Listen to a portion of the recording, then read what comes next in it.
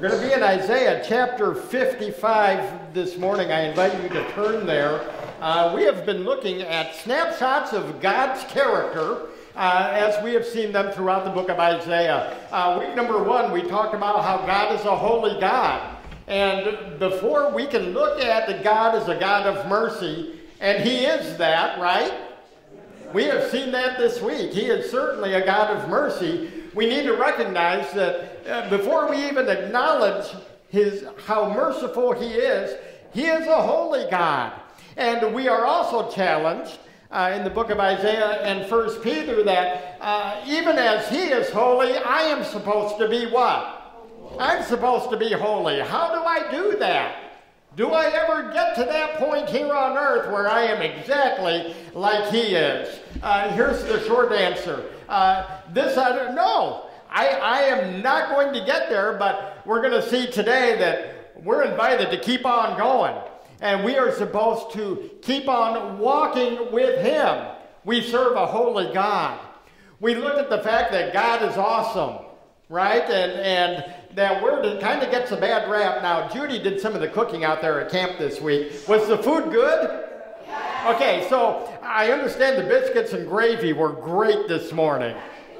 Okay, okay, so now they're saying everything. So, uh, Judy, mark this week down for next year. Um, the, the, the, kids are going like this. I'm just getting that look from Judy, right? Um, you know what? Uh, the food was fantastic, wasn't it?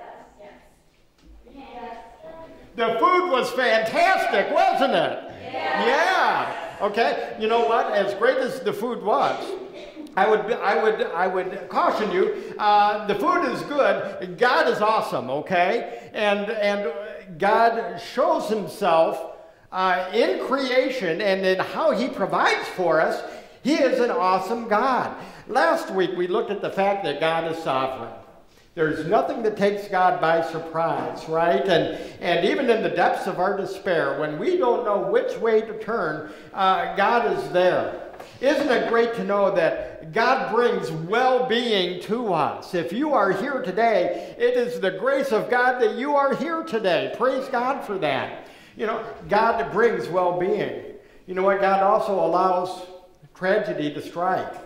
And none of us here in, in this place this morning are immune from that. Okay? Why is it that we go through all of these trying times? Why is it that we go through illness, maybe uh, perhaps the death of a loved one, uh, job situations that we just don't understand. Why is it that we go through all of those things? You know what? God does allow those things, doesn't He? Here, here's the short answer that we looked at last week. The short answer is this we go through these things ultimately so that God can get the glory. That's why we go through those things. Do we feel like giving God glory when we get news like that? You know what? I will confess to you, my first reaction isn't to do that. But yet, what is my first reaction supposed to be? to do exactly that, okay? Uh, so we serve a holy God, a God who is awesome, a God who is sovereign. And when we look at those three things, to me, that's what makes this portion of Scripture so powerful because we are invited to experience the works of God. Isaiah chapter 55, uh, I want to read just verse 1.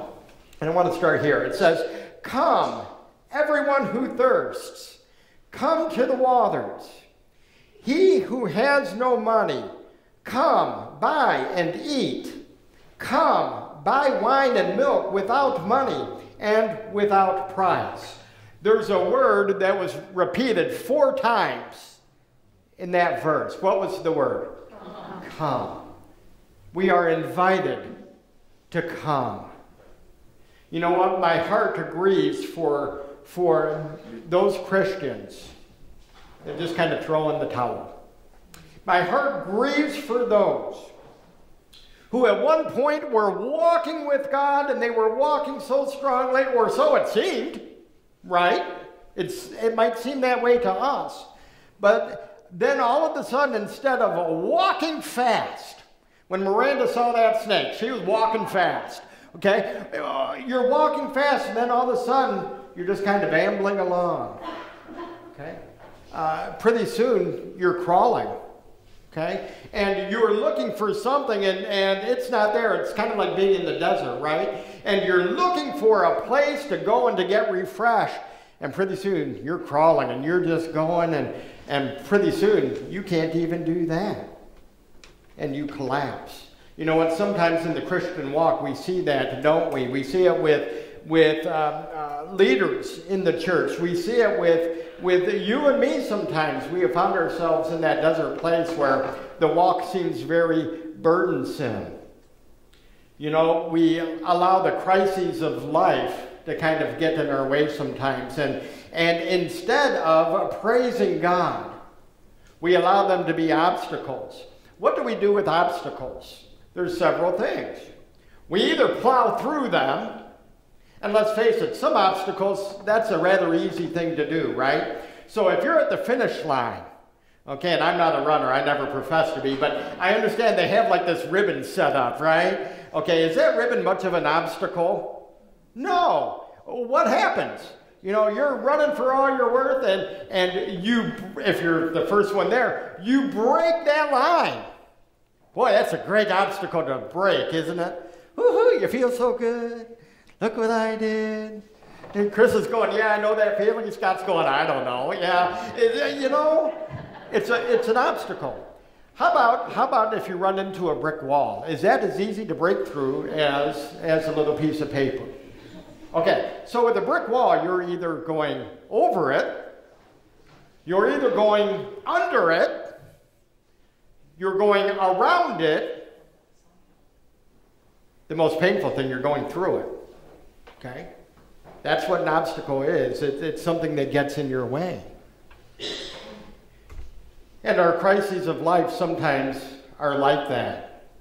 And you know, it's, it's never just that one crisis that, that puts us in that spot, is it? It's, it's kind of like when you have car trouble.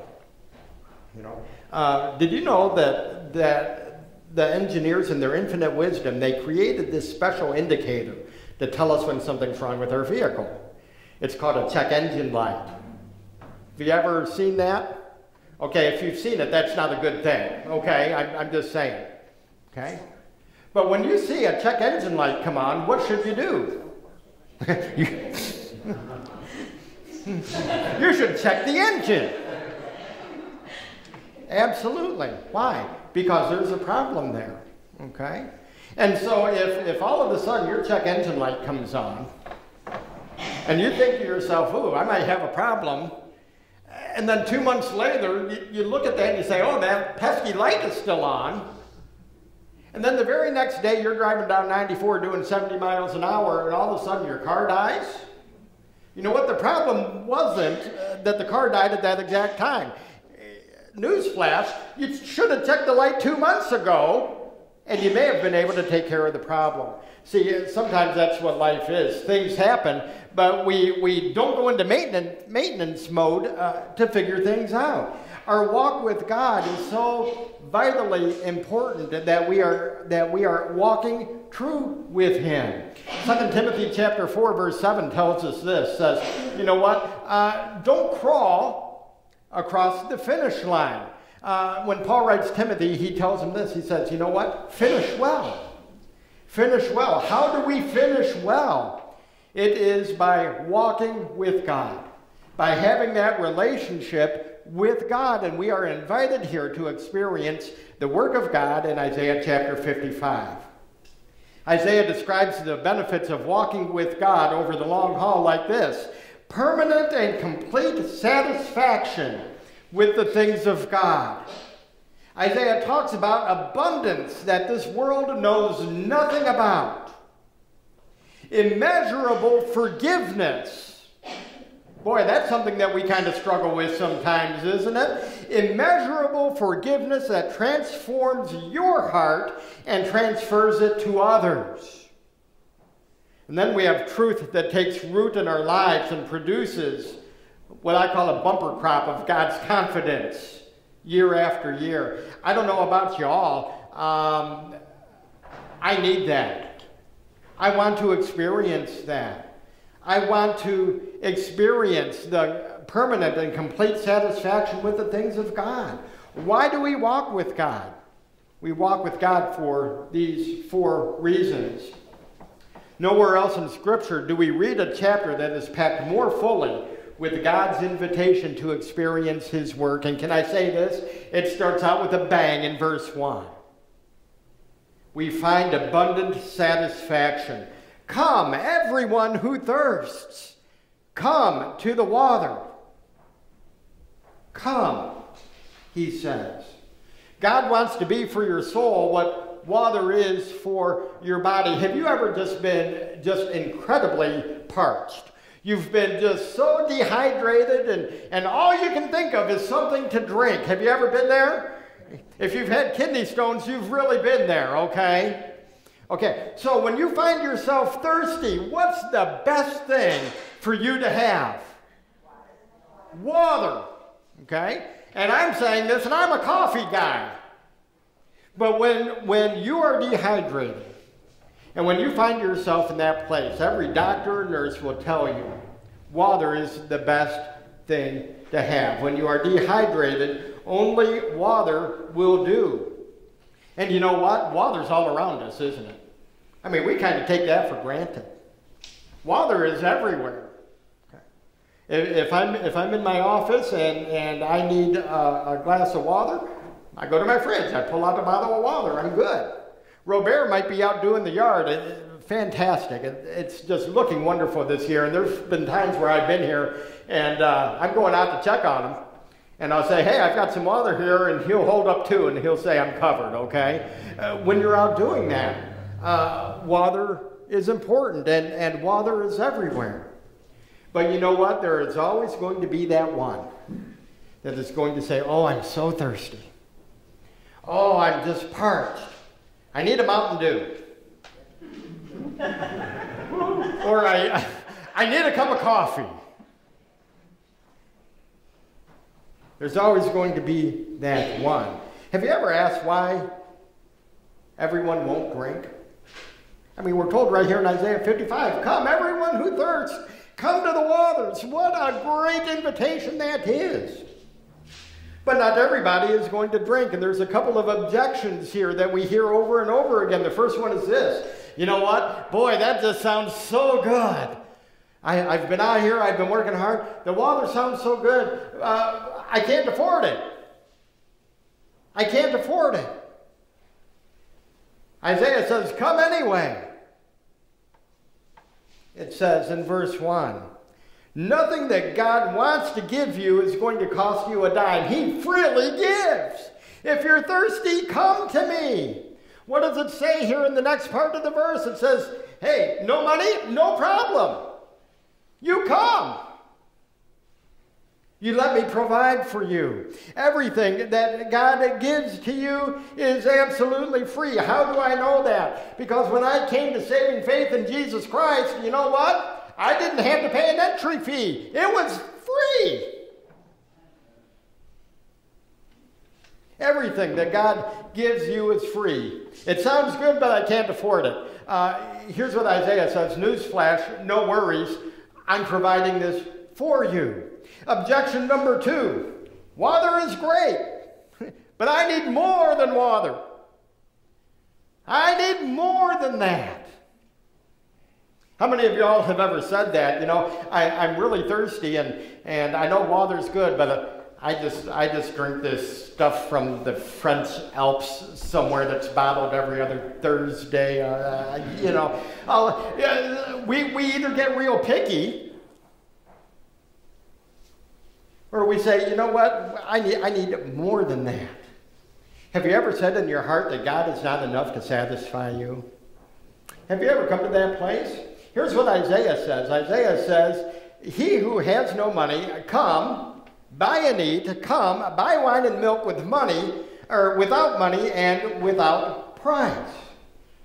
Here's what Isaiah is saying here God is going to provide for you. And every objection that you can put into how God provides for us, you know what? There's an answer in God's Word. Isaiah says simply, Come. Come.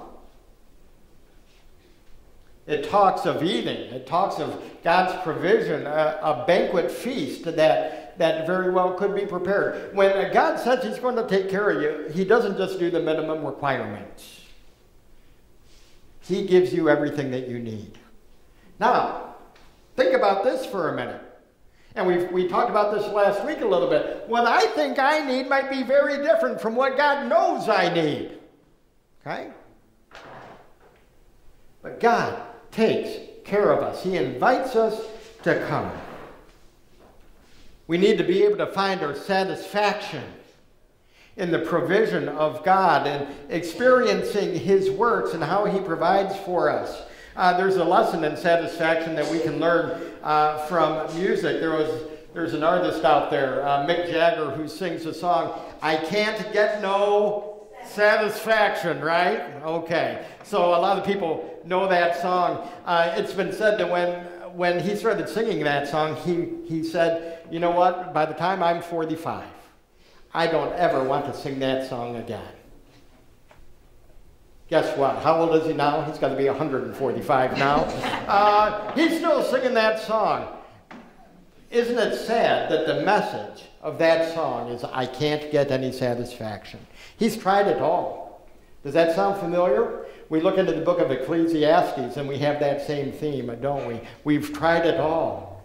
And our satisfaction doesn't come from the things of the world around us, our satisfaction comes from God. And that is where we are to find our satisfaction and our delight is in a fulfilling relationship with God. It's a relationship that will last forever. Isaiah 55 3. Incline your ear. In other words, Isaiah is saying, hey, listen to this. Come hear me. Hear that your soul may live, and I will make with you an everlasting covenant, my steadfast, sure love for David. It's an everlasting covenant. We've talked about this before. Our God is not a contract God, He is a covenant God.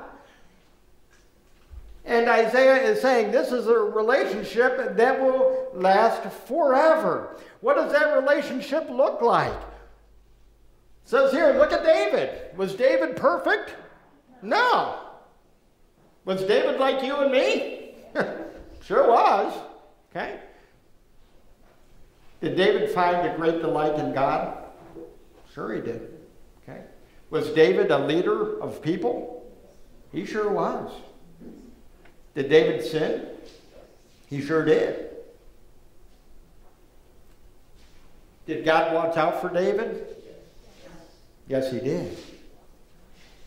What does that relationship look like? It looks just like that. You know what? When times are great, God is there. And when I'm not doing my part, and when all of a sudden I find myself crawling, you know what? God doesn't kick me to the curb and say, next. He is a covenant God. He is right there. He is there to help me. He is there to lift me up. He is there to encourage me. He promises to measure his kindness according to the mercies shown to David. Was David shown mercy after mercy and grace after grace? Yeah, guess what? You are too. It's a relationship that lasts forever. It says it's an everlasting covenant. Isaiah 55 5 says this Behold, you shall call a nation that you do not know, and a nation that did not know you shall run to you because of the Lord your God and of the Holy One of Israel, for he has glorified you. God's provision is for those that come to him. Aren't you thankful? If you are a child of God, he provides every good thing for you. Absolutely. We need to be thankful for that.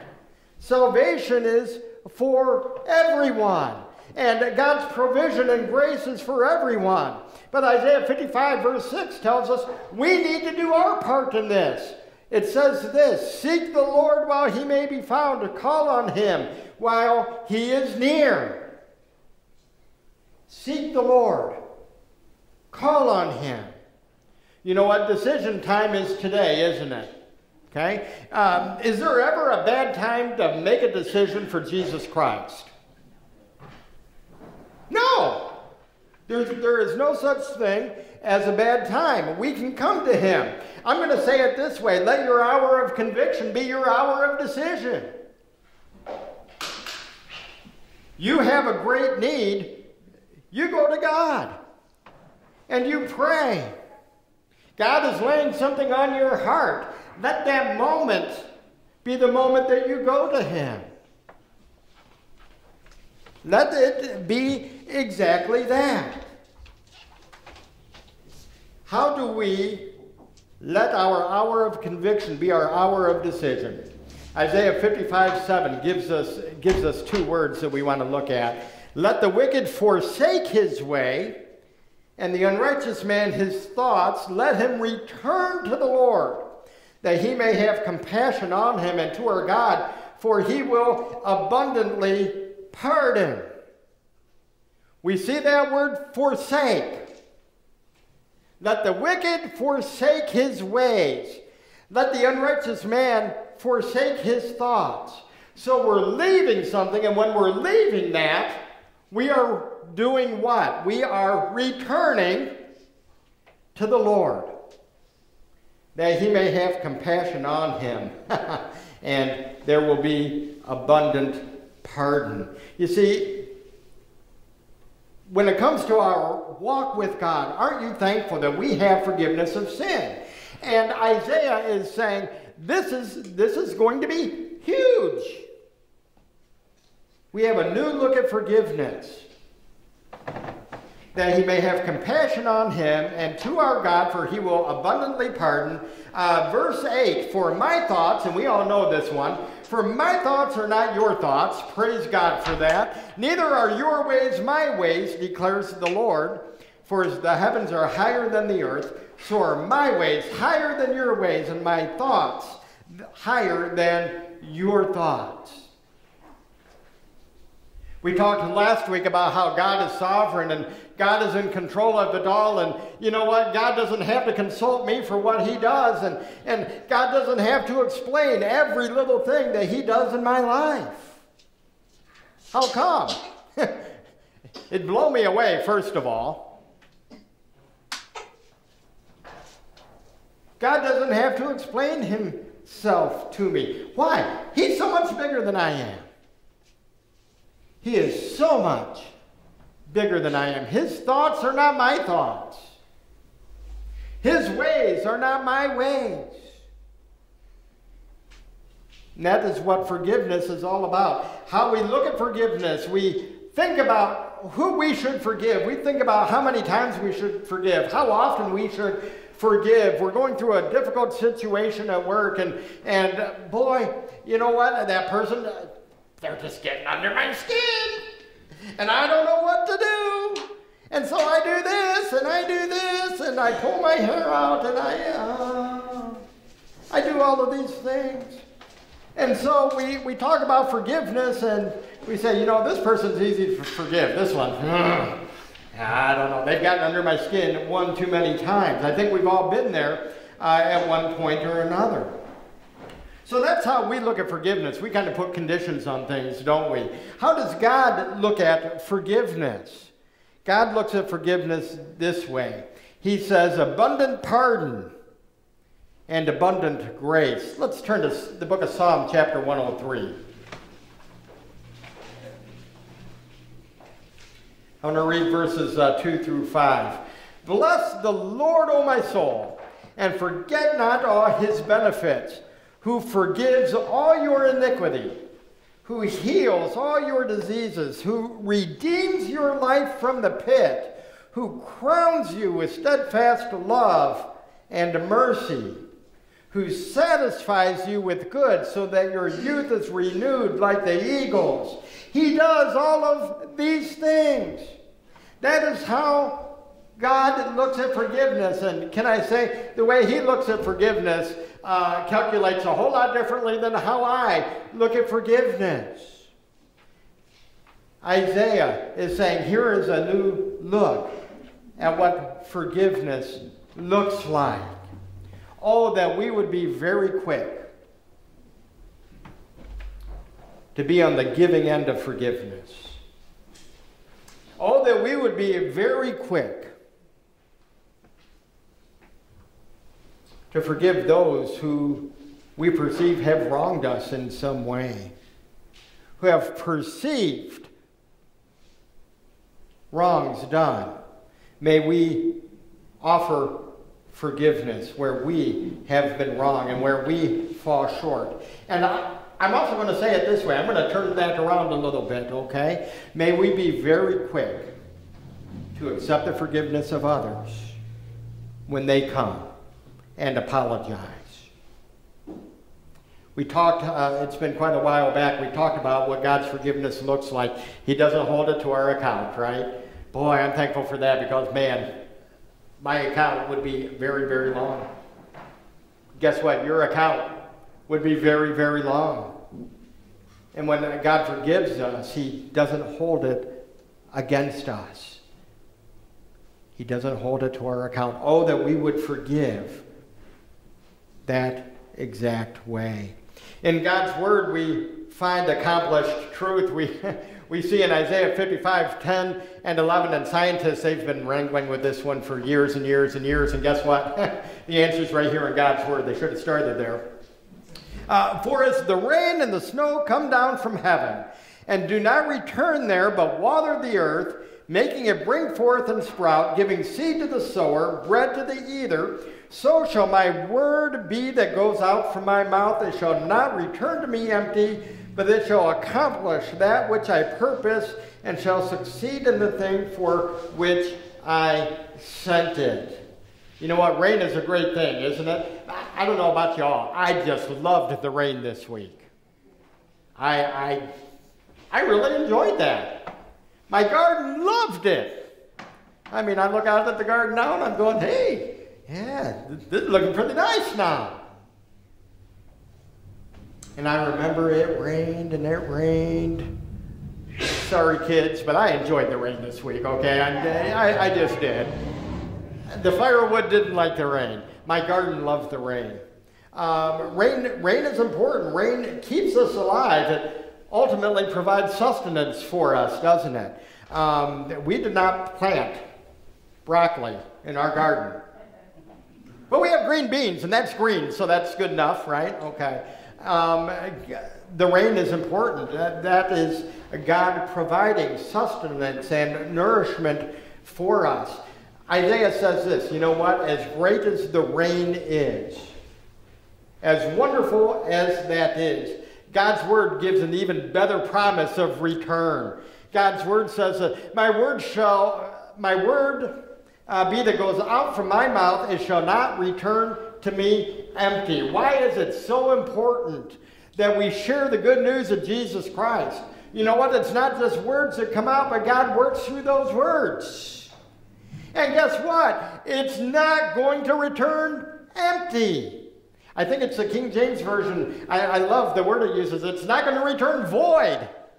Okay? There's a purpose for it. And so as, as we're watering our garden, you know, this summer, um, every so often I just walk out there. And uh, what do I know about gardens? Uh, Karen says, uh, dump the dirt here and turn the sprinkler on. That's about all I know, okay? And so uh, I do as I'm told because, well, that's just a good thing to do. And, and so I remember Karen, would, Karen planted the beans. And, and I mean, she had it done just like that. I figured this was a long drawn out thing. Apparently it's not. And um, she, she had it all done. She comes in the house and she goes, wow, um, beans are all planted. We're all good to go you know what, an hour later, I just wanted to run out there and see if we had anything. It takes longer than an hour, doesn't it? Okay? Does it take longer than a day?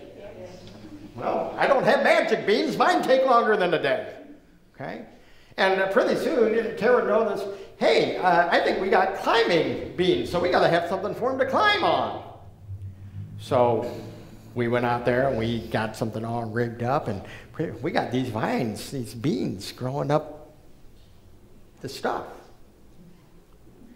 And I'd run out there and I'd say, We don't have any green beans yet. And Carol would say, Well, they got to blossom first. Uh, apparently, you get those flowers, right? Those, yeah, okay. And uh, so I ran out there yesterday and or two days ago, and I said, "Hey, we got we got some flowers there. I, probably pretty close." I went out this morning and I came back in. and I said, "We got even more." Okay. The importance of rain. When we talk about God's word, God's word as it goes out, there's always going to be a return. One of the returns is going to be this: is that that message is going to land in fertile soil and we're going to we're to have people that come to saving knowledge of Jesus Christ. And it's going to be because you shared the very word of God. You know what? That's that is just that's enough to make you shout. Can I say that? We have that message. The message isn't going to return void. Here's what else we know. We know that one of the other benefits of that, of course, is it's not going to return to us empty. Uh, here's another reason why. Uh, because we're commanded to share that message, aren't we? We're commanded to do that. When we are obedient to Jesus Christ, that never returns empty.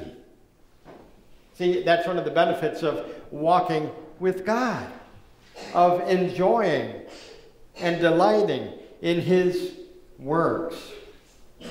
We find absolute delight in the works of God. It says in verses 12 and 13, it says this For you shall go out in joy and be led forth in peace. Great words. The mountains and the hills before you shall break forth into singing. All the trees of the field shall clap their hands. Instead of the thorn shall come up the cypress, instead of the brier shall come up the myrtle, and it shall make a name for the Lord, an everlasting sign that shall not be cut off. The picture here is of pure delight in the works of Creator God. That is a great song, isn't it? And I heard somebody mention that. Hey, that song, this is where it came from. The picture here is of pure delight in the works of our Creator. Do you delight in the things of God? Do you ever take time just to kind of kick back and relax and just to praise God for what He has made just for you? The other morning, it's 3.30 in the morning, um, couldn't sleep, decided to make a cup of coffee, went out to the patio. And uh, so I'm, I'm sitting out there on the patio, and, and it's dark out, and, and uh, the sounds that were around me, even the birds, they weren't quite up and around yet. And I remember looking up at the stars and just thanking God for a tapestry that Hollywood couldn't paint. I remember just being overwhelmed as I looked out and I could see the silhouettes of homes. God providing for people, right?